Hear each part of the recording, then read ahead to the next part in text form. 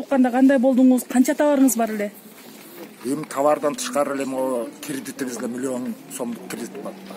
Андан тышкары товарыбыз деген эки миллиондук сомдук товар бар болчу ичинде деген балыздарымдыкы бир туугандары бар жолдошумдун алардын деген кошо деген товарларды помещение кылып ошол жака киргизчү мындайча айтканда канча экенин точносын бир үч миллион төрт миллион кетти ошол сөздүн ачыгы эми аны кандай кылабыз билбейм кредитибиз бар миллион деген. Анын кредиттерин мындай кыскартып же болбосо жанагы кимдир айткандай отпускарбы же кандай кылабыз ошолорду деген түшүнбөй атабыз. Эгер уруксат болсо ушун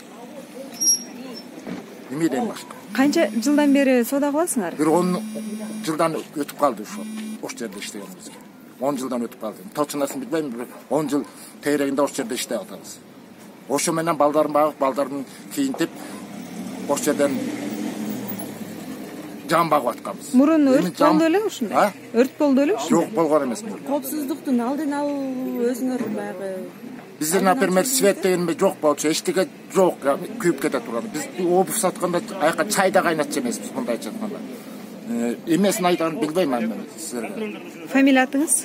Саскеев казбек мукаевич болгону тууралуу кимден уктуңуз бүгүн жумушка келаттыңыз да э ой бүгүн эмес кече кечинде балам алма атада иштейчү ошо балам ватсаптын телефонго звонтиптир баламга үйдө бир балам бар биз үч семьяны багабыз мен токсон алтынчы жылдан бери иштейм базарда кашыктап тапканым бир заманча жогогонум ичим күйөт мен бир миллиондон ашык кредитим бар бир эмес үч банкадан кредит алгам компаньондо бар достук кредит банкада бар tag bir banka o'rnitibdi hozir endi sotchiligingiz tomog'ash sotchi men Ахтелек плюстан для места алгам, беш жактыл алгам, эки жагым тең күйүп. Почти 100 квадрат метр. Евро стел кылганбыз бүт барын. Кредит банкалар демetse буюрса, жардам берсин, я не знаю, может, срочно сделают. Тоже все знают меня банки.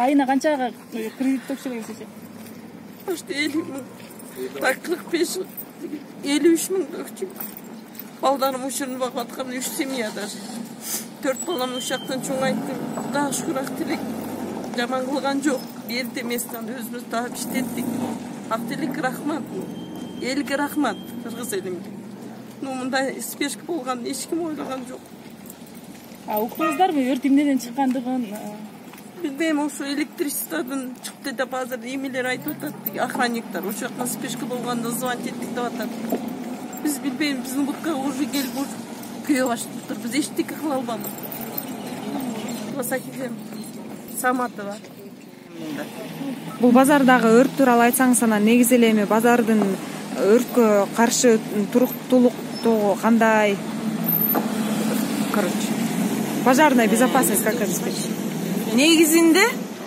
кыргызстан боюнча бул бир эле ак тилек эмес кыргызстан боюнча базар экономикасы перестройка башталганда эле аялдар базар менен жан багып ошондо эле базар экономикасында пожар боюнча коргоо эсептелбей калган да бул жерге ташка ой алып деле сатып атышып эле ушинтип ушинтип комок салып алышып киоск салып алып оокаттанып жүргөн кишилер ушул күнгө жетти да негизинде мыйзам боюнча базар эмес жаңы конуштарга биринчи сууну электричествону жолду салып бергенден кийин анан адам жашоого э, кадам таштайт да.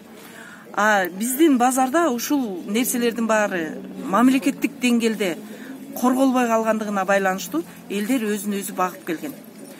Ушул эле биздин ак тилек базарына келсек ушул эле э, суроону көп жылдан бери көтөрүп келатабыз жанакы ошо обжорный турган жол мэрияга карайт мэрия өрт өчүрүү боюнча ушул жолду ачабыз. Жети метр он үч метр ачабыз деп менде азыр эмеде документтер да бар. Мэрия алган бул жердичи ушул жерге мондай сквозной ачалы десе бул жерге тиги базардын чок ортосуна кырк тогуз жылга берип койгон документтер бар. Ошон үчүн Э, толук ачылбай э, пожарный кирип чыкканга мүмкүнчүлүк болсун деп ошо ученияларды жасап атышкан элдерге эскертүүлөрдү жасап аткан бул да өзүнүн деңгээлинде ушул нерселерди жасайлы деген аракеттер бар болчу. Бирок ишкер ошончо жылдан бери ошол жерде кредит алып алгандыгына байланыштуу ошол жерде э, мындай именно ошо жетишпеген үй бүлөлөр да бар. э, ички миграциядан келген ишкерлер бар. Ошол ошол кишилердин ошол э, нерседе тургандыгына байланыштуу жергиликтүү бийлик да базар да чече алган эмес. Бирок мен ошо жанакы базардын үстүндөгү паутина сыяктуу электричество боюнча беш жылдан бери э, ким технический инспекция э, справка жазгандыгына байланыштуу ошол нерсени устранять этилсин деп резке катуу тапшырма берилген. Рез эки жылдан бери ошол ишти жүргүзүп атат. Жана сиз көргөндөй э, оголенный место болбосун деп ар бир местанын үстүн деген эме киргизип чыгышкан проводдун тышынан дагы ошо сактачу башка бирөөлөр кирбечү ушундай пожар чыкпачу нерселерге коопсуздук иретинде рез иш жүргүзүп аткан. Ошол иштин үстүндө ушул обжорныйда бир айдан бери мага ушундай э, суроолор түшүп аткан. Эмне үчүн бизди деген счетчик алмаштыртып атышат булар. Бизди деген э, счетчик койсо башкача данныйлар чыгып калып атат. Ушул маселе боюнча эмне кылсак болот деген суроолор келип аткан даже базардын аркы башынан да келип аткан.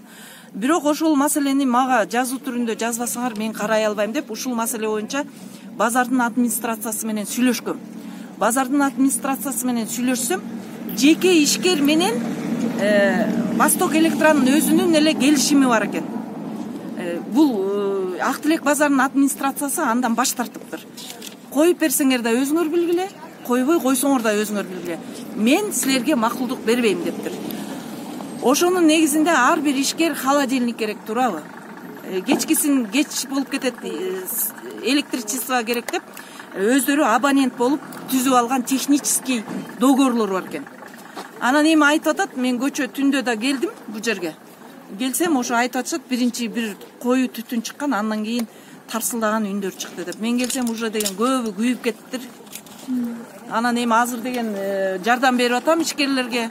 Капа болбогула мынакей азыр кирген кишилердин бүт баары мыйзам чегинде каралат мыйзамдуулукту сактайлы мына азыр э, саат он бирде кездешүү болот экен ошол жерге да бир он чакты киши барат анан эми көрөбүз да ар жагы такталгандан кийин аты жөнүңүздү сарыбаева атыркүл калмакова ак тилек базарынын жеке ишкерлер профсоюзу